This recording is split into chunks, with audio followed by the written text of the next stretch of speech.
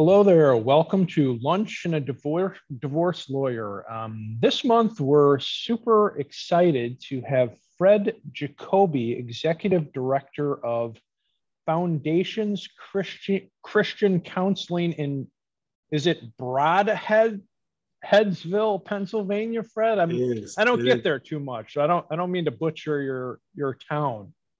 No, it's all good. It's Brodheadsville, and it's if if anyone's familiar with Northeast Pennsylvania, it's kind of there's a Stroudsburg, Lehighton. We're smack dab in the middle in a small town with uh, we've got a couple uh, uh, we've got a couple uh, uh, uh, fast food restaurants. So you know, at least it puts us on the map. Awesome, and not only are you the executive director of, I guess I think it's it's a not-for-profit Christian counseling center Yep. But you're also you also launched a product called Designed to Be Mine, a digital course recently. True? Yeah. It is. It is. Okay. Um, how about this one to just kind of open things up a little bit? Uh, and you can start kind of wherever you want in your story. Sometimes people start in junior high, and it's just kind of like, okay, you're in Christian counseling, and um, you've created a digital course. Kind of how did you how did you end up how did you end up there? You know right? I'm a i'm a professional football player or something. How did i get there? Sure. Sure. Well i would say um, uh, uh, way back in the womb. No no i'm just kidding. Not, not that far. But what i probably would say like around the junior high age um, is i actually started um, I, I started experiencing uh, depression. And um, I started I I was a latchkey kid. Um, you know, I started gaining some weight. No girls liked me. I switched schools. I moved, and really not a whole lot of things were going my way. Um, so I started experiencing uh, depression and, and, even thoughts of suicide and such. And, and uh, my parents could tell that there was something wrong, um, but I wouldn't really tell them. Um, and so they they uh, set up a time with a counselor, and they said it was family counseling kind of thing. And and uh, um, I didn't want to go, and I, I, so much did not want to go that I basically ran away that day. Okay. said, "Forget it, I'm not, I'm not going." And so anyway, they found me and they said, "Come on, Fred, you know, just let, us give it, you know, let's give it a try, and you don't even have to say anything or whatever." And I'm like, "Fine, whatever," you know, and okay. uh, so they took me and. Uh, uh, I should say it was still ended up being family counseling. And then the the counselor didn't talk to me at all. It barely even said hi to me. So that ticked me off even more. Mm-hmm. And next thing you know, I wanted to talk.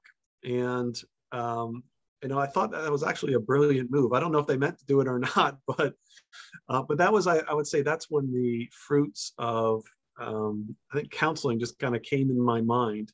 Okay. Um, where uh, beginning, uh, kind of the beginning steps it probably wasn't until college time where uh, you know just, tr- just, trying to declare a major and uh, trying to figure out what I wanted to do. So I tried a little business, tried a little engineering, and, um, and then I took this class called interpersonal relationships. And uh, honestly, I just loved it.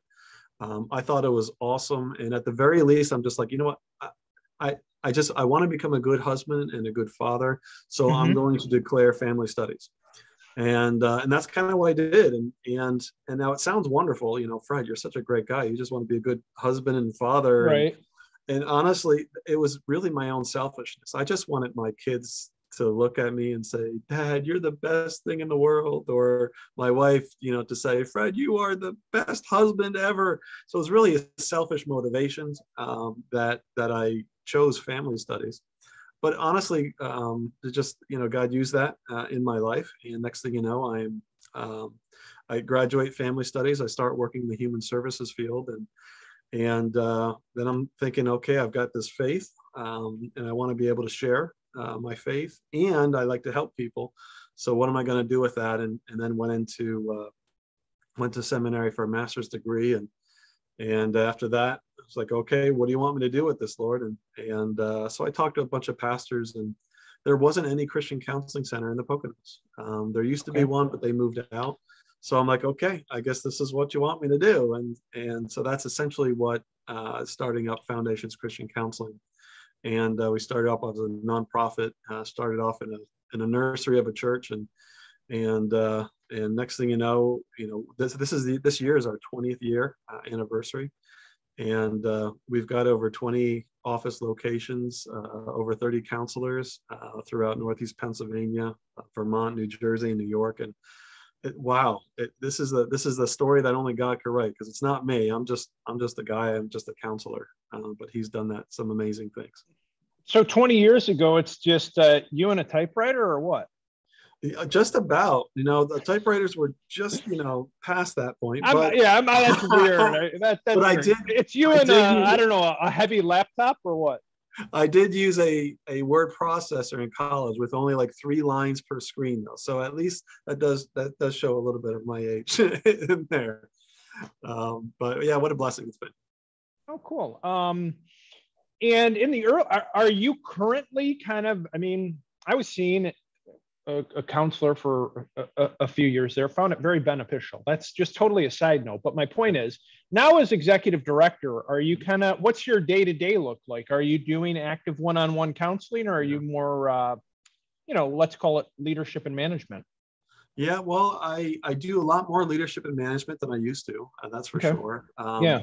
but I do I, I want to keep counseling because I, I think that's where my giftings are, um, even more so than administrative.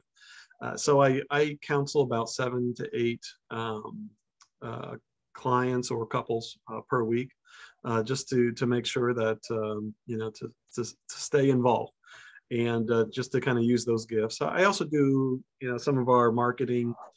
It's not a strong point, but I do enjoy the creative juices. It gets me you know, it keeps the emotional aspects under control because it can be very stressful to uh, uh, to counsel and numerous people, numerous couples, and things like that. And so I like to use my creative juices to kind of, you know, keep that emotional balance going on as well. Cool. But uh, supervision and uh, you know, supervising our staff and uh, uh, leadership team and uh, things of that nature. Uh, so it's uh, answering questions, talking to pastors, uh, which I love doing, and uh, and also preparing um, uh, different things such as uh, speaking events and and uh, and of course this course that uh, they had mentioned uh, called Designed to Be Mine, and just kind of creating that as well. So it's uh, it's kind of takes up a lot of my time, uh, but it's it's it's fun. I love my job. That's great. Um, Yeah. Sidebar, I think, well, number one, I think you might be the first person on the podcast who's not a general Chicago land person, Yeah. but we welcome all comers here. Um, but my what I was going to ask was, are you familiar with the organization Cornerstone Counseling Center of Chicago? Mm, I'm not. I'm not. We have a corner counseling center here in Pennsylvania, but I think it's a different one. Okay, sure. Well, I think it's a popular word in, I don't know, general, let's call it Christian vernacular. No, your your organization made me think of the same. Sort of it's a para-Christian. I think they they do a lot of sessions around, you know, uh, churches and stuff. And it started out of a church called LaSalle Street Church Okay. in downtown Chicago. But um, just didn't didn't know uh, didn't know. Just threw that out there quick. Yeah, Uh, I used to actually live in Cary, Illinois. Um, Really? It's in what the northeast uh, I didn't know that for a while. Uh, um, just for a summer, basically. My parents Okay. moved there while I was in college, and so I I moved I there see. In betweens for like a summer and such. And and I love the pizza. I can tell you that. It's funny. We moved, or let's just say, I personally sort of am living in two places, including Chicago. Yeah. But you know, one of the places we're spending some time in is in Florida, and it's kind of funny how often the pastor of our church references Chicago-style pizza, and I'm not really a pizza guy. It's really just kind of funny. The like stereotypes of now I'm like the Chicago person when we're, you know, attending church in Northeast Florida. there you So, go. There you Um, go. so this was a funny question when I asked for a referral from a friend of mine for a counselor three years ago ish. It was sort of uh, uh, Christian or not Christian, and what does Christian? How does Christian counseling look different than you know Dr. Bill over here has no religious affiliation? What's what what is the difference if if you parse that out a little bit? Yeah, and there's there's a difference not only between Christian counseling and secular counseling. There's actually a lot of difference within Christian counseling itself. Um, but uh, the difference between Christian and secular, I think ultimately it has a lot to do with uh, the gospel um, being included um, and the the authority and the presence of Scripture uh, being involved in it. A lot of times, the secular counseling, the everyone's got a similar goal in terms of we want to help the person in front of us. Sure. Um, with Christian counseling, it, it goes beyond just helping the person in front of us. It, it means to help them with their relationship with the Lord too, uh, because the closer to God that you can get, the more that it will help with a lot of different struggles, relational struggles, uh, emotional struggles, mental health struggles, and uh, things of that nature too. And so, uh, while we all definitely want to help people and help them to function better here, um, there's an eternal aspect, I think, to Christian counseling. And uh, there's different models also, and so uh, which leads to different places. Uh, so, for example, in in secular counseling, uh, you'd probably hear, you know, like self-acceptance. You know, it's really all about you need to love yourself type thing, and and uh, and such. And Christian counseling is oftentimes, depending on the Christian counselor, I think. Um, but the goal is not necessarily to love yourself, um, um, but it might be to accept who you are in Christ and Christ's love for you and his opinion of you, as opposed to you developing a better opinion of yourself. It's just saying, hey, you know what? God loves you immensely. He gave his one and only son for you. You have great value and worth in the eyes of the creator of the universe. Um, so find your value through God, through Christ, mm-hmm as opposed to finding your value in your own opinion of yourself, which is to right. love yourself more, you know, kind of thing, and kind of you know do that. Um, was it Stuart Smalley? Um, I think I'm, I know I'm dating myself way uh, for those who used to watch uh, uh, Saturday Night Live, which is you know okay. looking in the mirror saying I'm good enough, I'm smart enough, and doggone it, people like me, and so they're trying to you know he's trying to lift themselves up by their own opinion. But right. in Christian counseling, what we do is just say, hey, it's not about your own opinion of yourself it's about god's opinion of you. And so let's you know focus on on that opinion of you because that's where truth really comes from as opposed to truth coming from inside of yourself. Um, because sometimes people just you know don't think very highly of themselves either. So that does not help especially with depression and things of that nature. So that's one of the the differences at the very least. There's a there's a um, you know within the christian counseling field there are those who just kind of do more Christian, um, like uh, uh, verses, just applying verses and things, and yeah. and you know living on Christian principles, um, but doing a lot of secular models and Christians. So that's called like integration. But then there's mm-hmm. also the biblical counseling, which is not about integration, but it's really more about let's just specifically focus on what the Word of God says.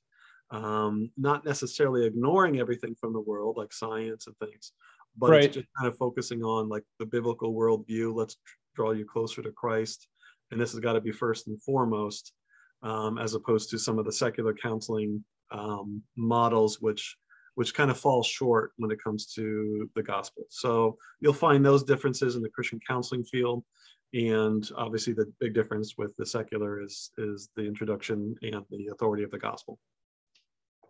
Interesting stuff there. I just yesterday in my morning quiet time, I I I re I, I started a reread of Rick Warren's A Purpose Driven Life, mm-hmm. which I hadn't picked it up in a while. It was in my library. Yeah. And and day one is actually it starts with God, and he kind of makes that important distinction that you're talking about. Yeah you know more broadly but you know right it's not like loving myself self-help. It's it right. starts with that's literally his day one. It starts with god. I really so that that made made me think of that. Yeah yeah absolutely. That, that's a great book too. It helps helped a lot of people um, just ha- help find their purpose and such too. So good book. Hey so we're gonna we're gonna talk a little bit more now about your design to be mine marriage course. Yeah. And here's my little segue, okay? And this is a little Peter being on a soapbox, but I'll keep it for less than 30 seconds to 45 seconds. And here's what it is. And I'd be curious about your thoughts on kind of yeah. just this concept because uh, I spend a lot of time in like two different worlds that I feel like are too separate when to me they're very like much the same world. And he, yeah. these are my two worlds. They're so I'm a family law attorney in Chicago, which oftentimes means you're involved in divorce cases. So you're in like in like divorce legal world. Yeah. I also spend a fair amount of time in let's just call it um, uh, mainstream Christian working on my marriage, going to marriage conferences and stuff. We were just at one of the, uh, my wife and I were just at one of the uh, Family Life Weekend to Remember conferences. Yeah, yeah. S- small world. The timing is irrelevant, but it just happened. Sure. And here's what I found is like in, in my divorce hat world, like nobody is is promoting the idea that there can be reconciliation mm-hmm. and marriage improvement, even if you're kind of like in a very crisis situation. Yeah. And conversely, I feel like when you're at a Christian marriage conference, like you can't even talk about divorce or, or, or something like that. Whereas, you know, I guess my, my real world is like a lot of times there's overlap and sometimes when you're mm-hmm. in that crisis situation yeah uh, that's actually the best time to like affect change so that's that's my little marital soapbox of mm-hmm. like just kind of like I w- i'm really actually trying to be that person who oftentimes is the is the mesh because uh, I, I do genuinely find that. And, and there's even like data on the point that something like a third of people who are in the family law courts are sort of mixed agenda, I think is some of the mm-hmm. phraseology. Like they're not sure if they want to go forward with a divorce. They don't really know what they're doing. Mm-hmm. But yet, conversely, I think a lot of times the church says, and I had a, a client of mine say this to me in the last few years who was a referral from a, a pastor at a church mm-hmm. where it was kind of like, you know, I was working with, I'm just making up the names here. I was working with Pastor Bill, but then once the case got in court, he just kind of said, you know, good luck mm-hmm. or something. And, and then it was no longer kind of like there can be sort of change and improvement yeah. there. Yeah. So that's my little theory, not theory for the day. That's very genuinely my experience. Yeah. Um, I don't know where I'm going with that, other than to say I feel strongly about that point. Yeah. Do you, do you yeah, see that well, in your experience? I mean, you're a counselor, so I mean, I would imagine you're dealing with a person who could be at a, a broad continuum of circumstances in their relationships.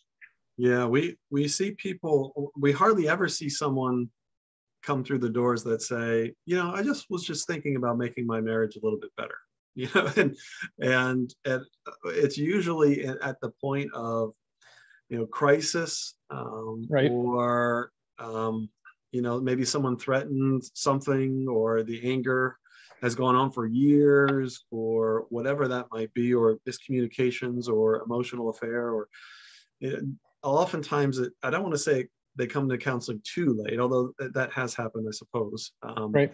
But at the very least, they come in to it at the point of crisis where it's just like we, something needs to change or else. Um, right. Or right. else that's exactly what's going to happen. We're going to end up in divorce or whatnot. Um, again, just wherever in the in the spectrum there, they you know they certainly come in and. But we've also seen too, and, and unfortunately, I'm sure you've seen a lot of this too, is that with Christian families and such, uh, just the issues of, of abuse and, you know, where it's it, about 80, 90% of the times it's men uh, with anger, emotional abuse and, and physical abuse, uh, more often emotional abuse and mental abuse and things of that nature where, where that can be very difficult to work on we and that doesn't we can't do marriage counseling with that. Um, that's actually going to harm do more harm to the the victim than it is anything. So we we have to separate them basically and work on the man and work on the woman with the woman and and uh, just separately because again marriage counseling you just can't do marriage counseling with with someone who's abusive. But uh, but yeah we certainly see a lot of people coming in in different times. And of course being a counselor i'm an optimist uh, meaning right. that you know this marriage is salvageable you know we mm-hmm. can save it but it does require a lot of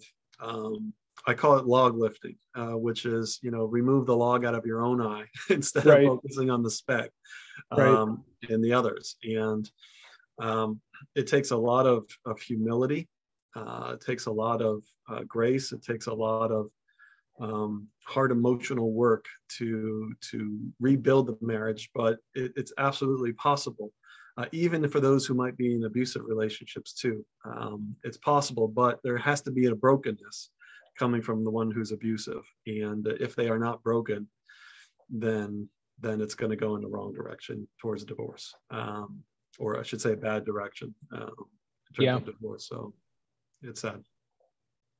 What um what what what motivated you or what was kind of the origin story of your course designed to be mine? Yeah, um, I think, and ultimately as a counselor, I just I just want to help people. um, about Sure.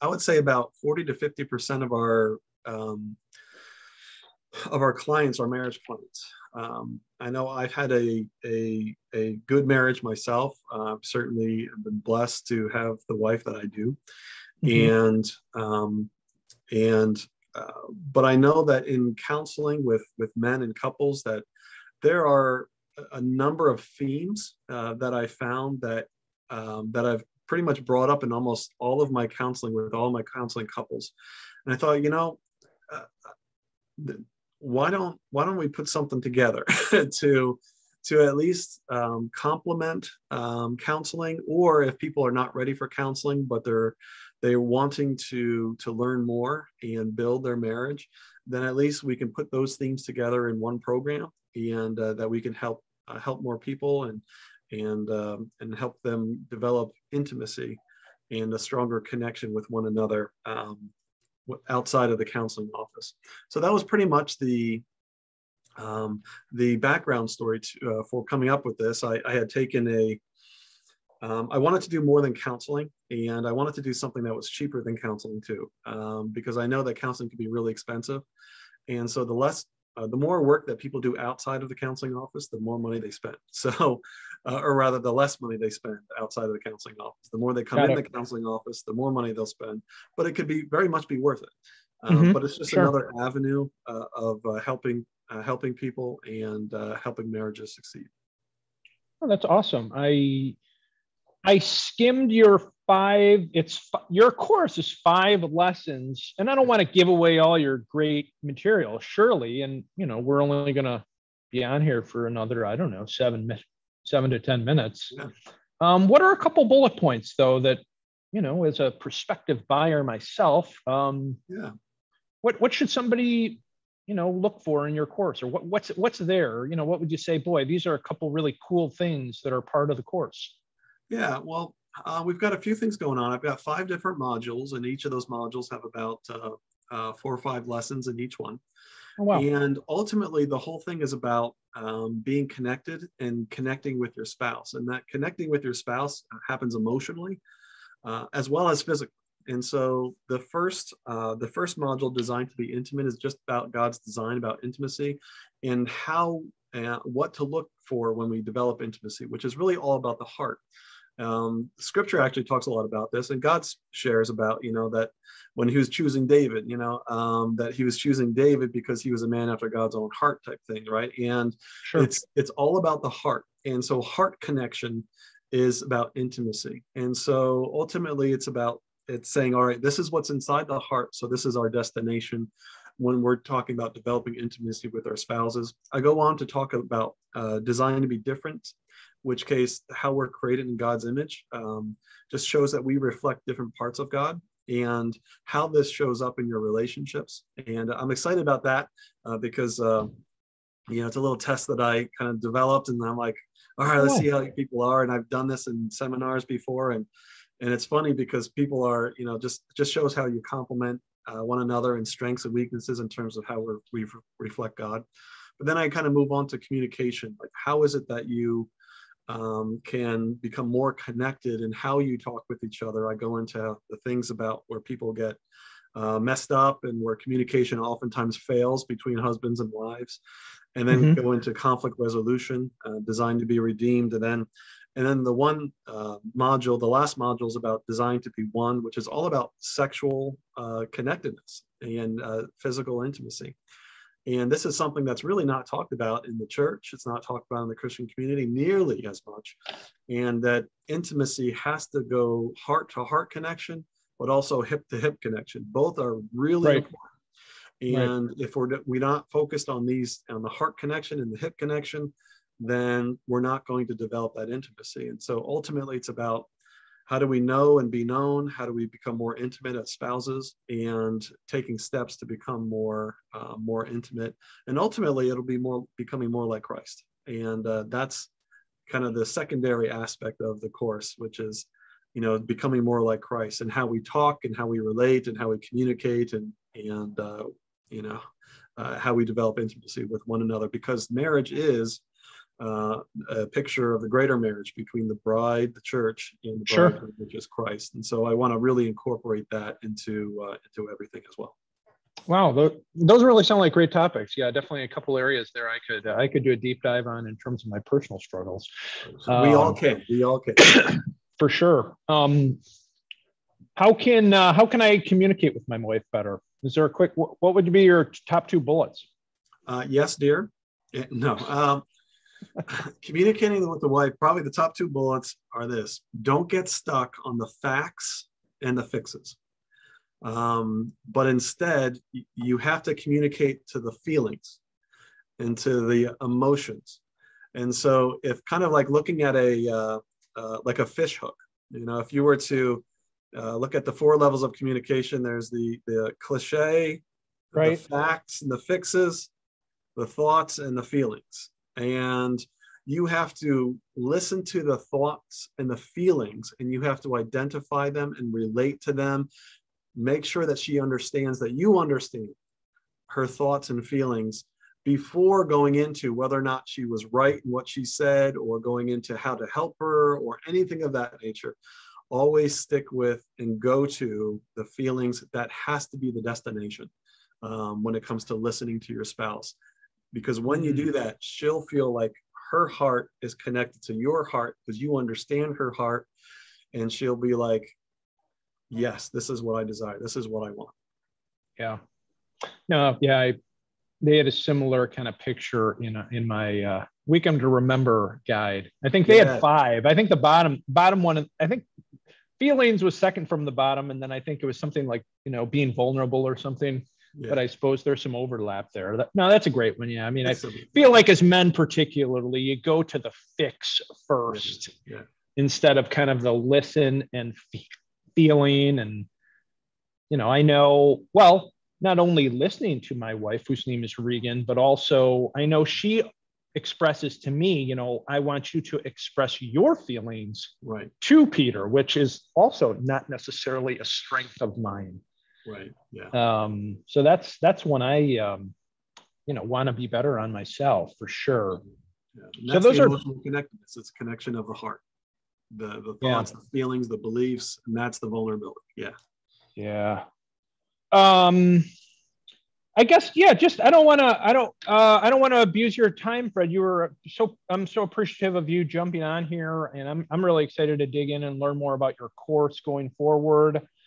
Anything else uh, by way of a? If I just said, um, asked you for a marriage tip or two for somebody who's who's struggling a little bit or who's just whatever. In in let's just call it even maybe they're not in the heart attack stage, but maybe they're just in the blah stage. What what what what what's a thing or two you would go to beyond even the communication piece? Yeah, well, the communication part is is really important, and I think ultimately it's about where the heart is. And so my question would be: Is where is your heart? Are you in the place yeah. of anger and bitterness and resentment, and what's going on inside there? And uh, when it comes to you know when it comes to identifying that place, if once we can identify that place, then we can kind of look at moving forward and and where we go. Because for everyone, it's just a little bit different. Yeah, there there might be some significant hurts of the past, um, or of the recent present, or that are going on right now, and uh, these things can be overcome. But it's it's important to first identify where you are and then those obstacles to that that prevent you from moving forward. So if we can figure that out then we can kind of set a game plan about how to move forward in uh, whatever struggle uh, is going on uh, inside the heart. Uh, the scripture says out of the heart the mouth speaks. Out of the heart we produce fruit and so the question is is what's going on inside the heart and that's that's where i really want to focus on um, in helping people. And so that's what I would say. Identify what's going on inside the heart. How what is it that you're feeling? Um, and and you know start to identify that and then you can start moving uh, forward you might need help to do it and uh, mm-hmm. as a good counselor uh, might be very helpful with that uh, because sometimes we just our hearts just need to change uh, a little bit um, uh, james talks about the the wisdom of of the world which talks about bitter envy and selfish ambition um, and then the the wisdom of of God, which is um, you know which is a different wisdom, which is full of mercy and compassion, and uh, so it's again it's kind of ascertaining what's going on inside the heart, you know, mm. living towards a certain certain wisdom there.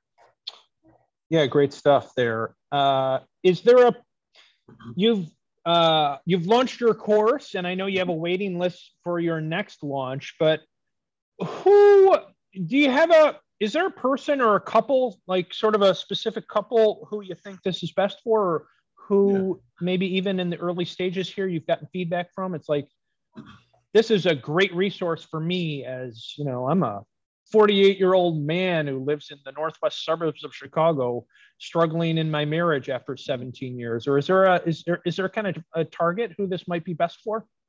Yeah, I would, I would say that um, ultimately for couples ideally um, where you are struggling in your marriage and uh, you you just want it to be better you want to be more connected with your spouse um, I, I, think it's for you. It's basically for those who want to restore their marriage uh, so even if they're in a bad place versus just kind of refresh it and just make it better. Um, you don't have to be like on the brink of divorce.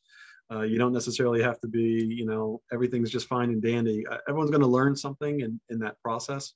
And uh, but the the the uh, probably those who are more in crisis might need the help of a counselor too. Um, but if you are in counseling, I'd say this is going to be something that's going to perhaps cut back on the, on the amount of counseling that's needed. But if you're just thinking about counseling, then this course is probably for you too. Um, and if your spouse is unwilling, I would say it, the course is still going to be um, going to be helpful, even though it's better to do it as with husband and wife together.